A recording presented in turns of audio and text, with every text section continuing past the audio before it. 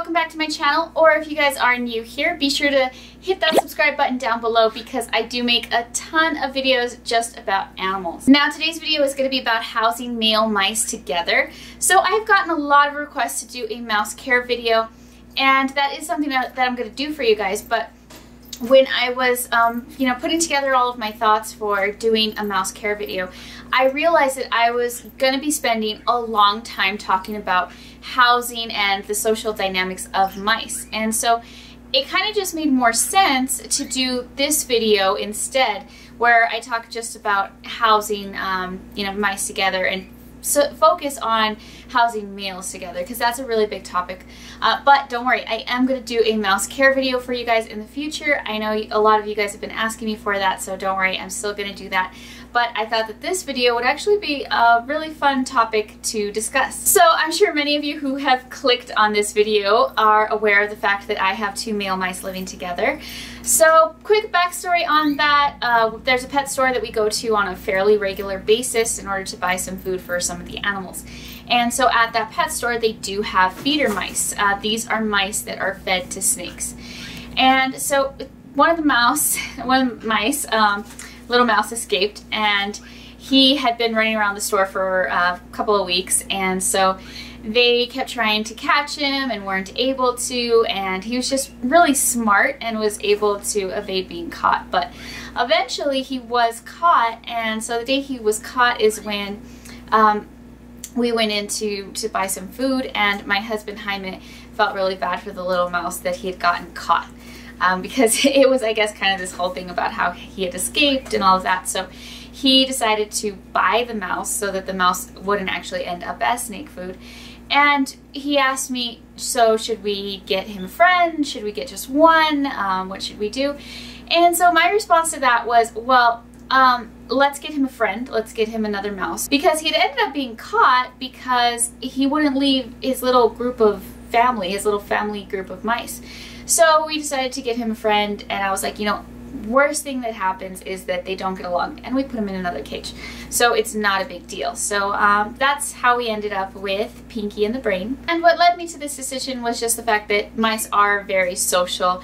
And so they, the two males have been living together for I guess about a month now. I guess it's been a month that we've had them. And they've been doing really well together. I'm actually really glad that we got um, Pinky. Uh, the brain is the mouse that escaped. Um, I'm really glad that we got both of them together because the brain really doesn't like human interaction. He really hates humans actually, which is understandable considering the fact that he got chased a lot. Uh, Pinky does really well with human interaction and you could tell when we brought them home that the whole thing was stressful for them, but having each other has made it less stressful. And I feel like the brain has, like he's a little bit more stressed easily than Pinky. But he's constantly with Pinky and if Pinky ventures out to like use the wheel or get water or something then he follows and also is able to like eat and drink water and isn't like you know terrified of what's going on. Uh, but I can tell that they're enjoying each other's company because they don't have to sleep in the same hide but they always do now, I've had male mice living together in the past, uh, their whole lives. They spent living together successfully. I've also had male mice that lived alone. And so I thought this was a really great topic to talk about, especially for new owners. Um, if you guys are clicking on this video because you're trying to find out if you should get one or two, or uh, just anybody who's interested in the topic. So uh, I want to try to provide you guys with as much reliable information as I possibly can. So let's discuss the social dynamics of mice. So it really depends on the species of mice that we're talking about, uh, how their social structure works. Uh, the fancy mice that we have that we keep as pets or use as feeders uh, probably came from like the common house mouse. So now the fancy mouse is really a domesticated species um, that, that, that does make them different. Like having an animal that's domesticated is different than an animal that is still this very similar to its you know wild ancestor. You can easily see this in things like dogs, horses, alpacas, as well as other animals. You can see how they are changing and how they're very different from wild ancestors. So the common house mouse is a social animal.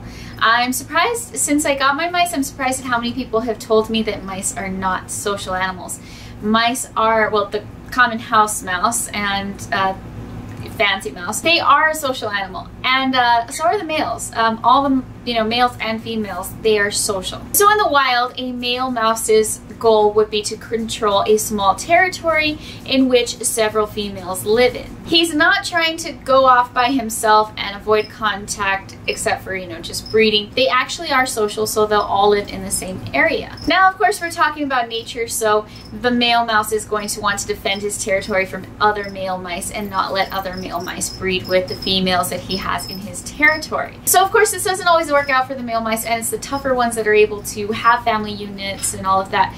But we can tell from, from watching them, from seeing all of this, that they are social and that their goal in life is to be with other mice.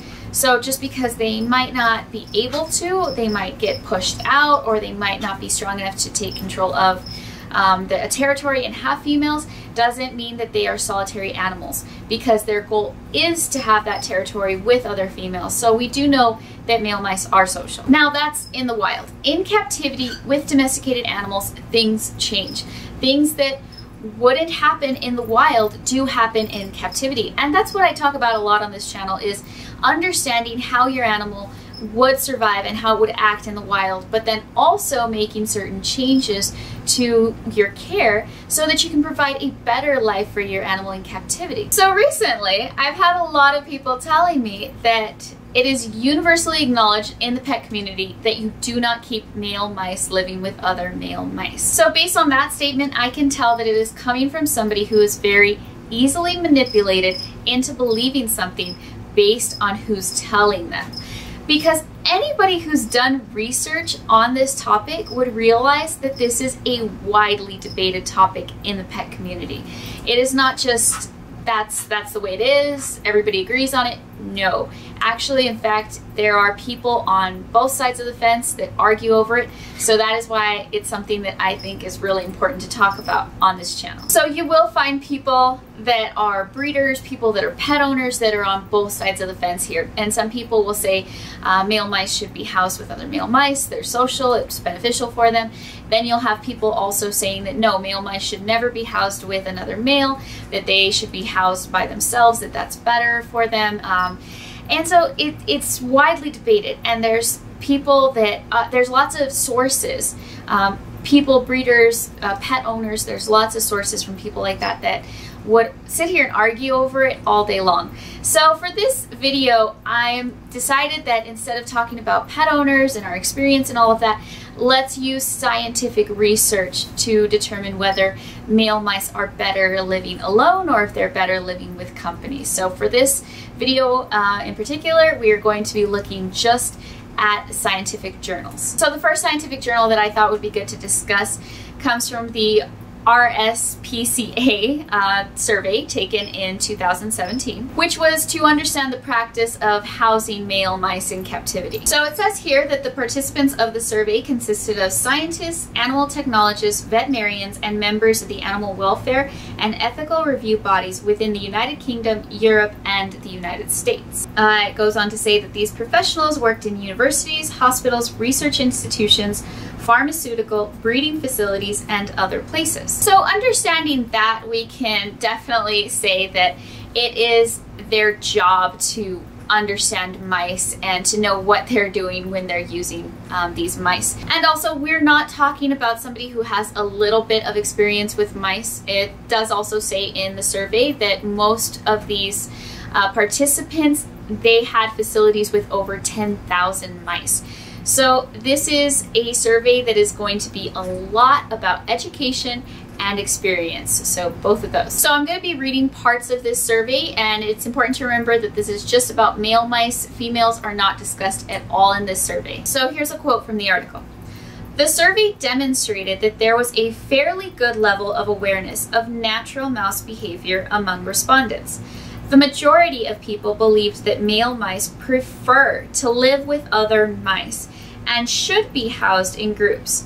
Most respondents reported that mice are group housed at their facility. Most were aware of the debate as to whether it is in the best welfare interests of male mice to house them with other males. So there were 147 people that took part in this survey, and all 147 do have mice at their facility. One of the quotes reads, do you believe that male mice should ideally be housed with other males in the laboratory if breeding is not required?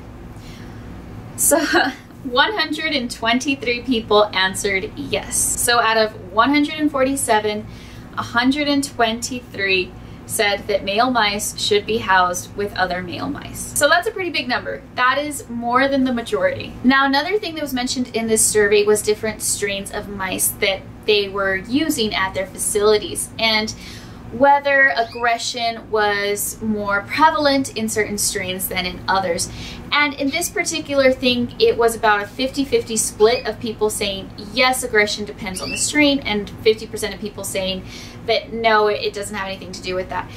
Um, in my personal opinion, I'm inclined to believe this. I think that it makes sense. I think that it makes sense that there are certain strains that do that, that are more aggressive than others. It explains why we as pet owners have such different experiences. And we don't know what strains of mice we're getting when we get them from pet stores or wherever else it is. And so it could be why like it's perfectly fine for me, it's working out for me, and it's not working out for you. So I do believe that there are probably strains that are more aggressive. But in this particular survey, it was about a 50-50 between yes and no. Then they also asked how the mice were cared for, and in keeping them together, environmental enrichment did seem to be a big thing, something that led to them being more successful in pairs. And this response was recorded here when they were talking about that. All breeders in the UK happily house males together with no problems. So I'm sure that not all breeders in the UK are housing male mice together. I don't think that's an accurate statement. But I think this statement goes to show that this particular scientist thought that it was such a like common practice that he thinks that just well everybody does that. That's kind of what I got from that response is that to him it was just very, very common to see this being done for them to be housing together. And this kind of relates to the earlier comment that I made where people were telling me that it's universally acknowledged. Clearly it's not. And then the next question asked, have there ever been any issues with male-male aggression or behaviors of group house males that suggest that there could be a problem. There were several recorded responses here from different people talking about behaviors that the mice would exhibit before becoming aggressive. Signs that housing the two males together was not going to work out. Now several people have told me that I'm taking a huge risk in housing the male mice together because one day out of nowhere they could just kill each other. I've been saying repeatedly that animals have a pattern of behavior. Nothing is random. And if you think that an animal did something random or out of the blue, it's because you do not understand how to read animal behavior and communicate with your animals. And guess what? On the survey, not a single person said that the aggression was random. All of them talked about certain behaviors that would be exhibited and several factors that could cause aggression before it actually happened. Now, in this part of the survey, when asked how they felt about the debate of housing male mice together versus alone, here's what some of them had to say. I think that it is not ideal to house males together. However, it is significantly better than single housing them. The environmental stimulation another mouse provides greatly outweighs the negatives of housing two males together. While male mice do not live together in the wild and will fight upon contact, suggesting that they should not be housed together in the lab, early pairing and the marked decrease in isolation stress makes it worth it. And another one, I expect that singly housing males for long periods of time, up to two years, must have a negative impact on their well-being and should be avoided whenever possible. And then my two favorites. It is difficult to balance the fighting risk and the risk of being lonely. As well as, in the wild, male mice live in groups, but not with other adult males. Singly housed, they occasionally overgroom and show other behavioral abnormalities On the other hand, male mice housed with their litter mates occasionally fight. So I think there is no ideal solution. I try not to use bullies as breeders as not to select for fight prompting traits. I like these two responses the best because that's exactly how I feel about the situation. And when it comes to caring for your animal, you try to do what is best for them. And that is not always easy and it's almost never black and white. The good thing is, is that there are ways to determining whether the animal is stressed or comfortable. And that's the beautiful thing about animal behavior. We don't have to guess how the animal's feeling we can see how they are communicating with us. Now, there were a few responses from people in the survey who do think that males are better off alone. And of course, this was a very small percentage of the people that were asked in this survey. Uh, but they did have, you know, their own things to voice about why males are better off by themselves. And that's the thing about the pet world, about the animal world, is that people are always going to disagree. They're always going to be arguing over what's better to do with them. Uh, but as pet owners, we try to find the best answer to our particular situation. But the thing to remember is that everyone in the survey did agree that male mice are social. The large majority did agree that it is better to house male mice with other male mice. And most of them said that it was also beneficial for the purpose of science. One of the things that they went on to say about that was that um, it was beneficial for science because uh, mice living alone had increased levels of stress hormones, irregular heartbeats, affected sleeping patterns, affected metabolisms, becoming obese quicker, and other factors that had an effect on procedures and scientific research. Another interesting thing is that housing the male mice alone also had effects on their brain development.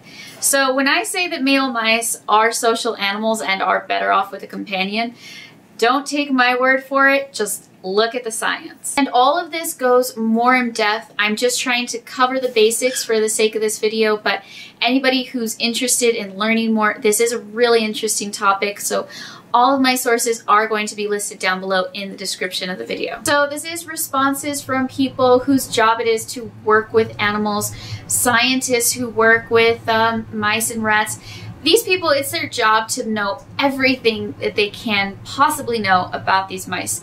That is what their career is, what they're educated in.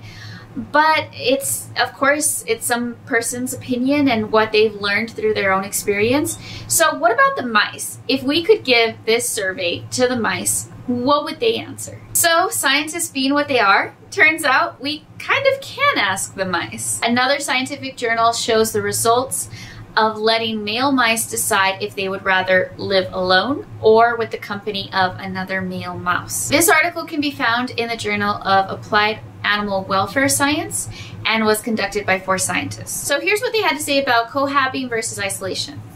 The effects of individual housing on behavior and physiology in rats and mice, referred to as isolation stress or isolation syndrome, had become apparent as early as 1960s.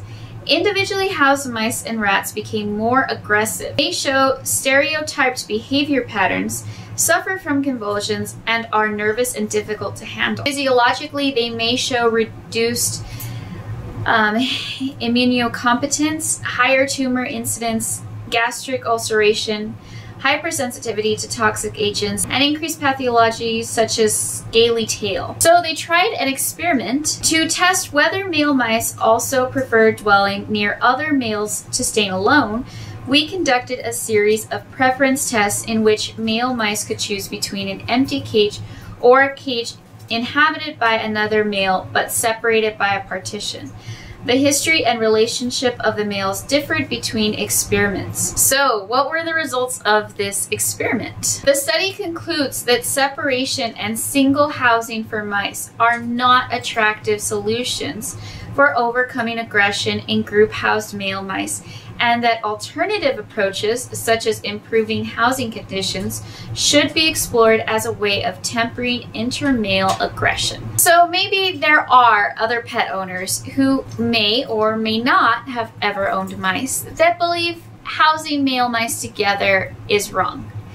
But then you have these individuals who are incredibly well educated, saying that socialization is so incredibly vital for mice that males should be housed with other males. What I do on this channel is I try to bring you guys the best information possible for caring for pets.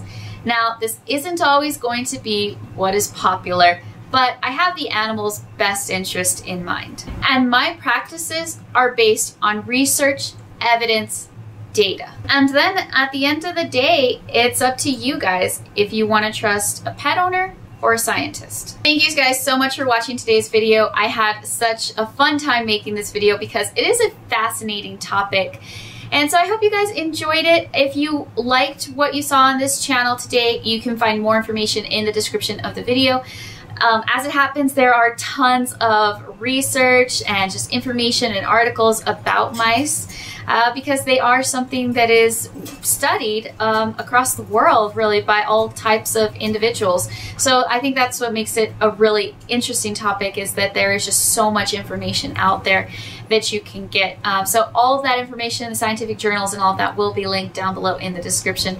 And if you guys are thinking about, if you're somebody that clicked on this video because you're thinking about getting mice or you're a mouse owner for a long time, uh, I hope either way you guys were able to learn something new and interesting on this channel. So don't forget to subscribe to my channel if you're new. And um, also, if you've been subscribed for a while, why are you guys not over on social media? I have Instagram and Twitter, so go join me over there and we can talk more about animals and you can see all the awesome pictures of my pets. So thank you guys so much for watching this video today and I'll see you guys next time. Bye!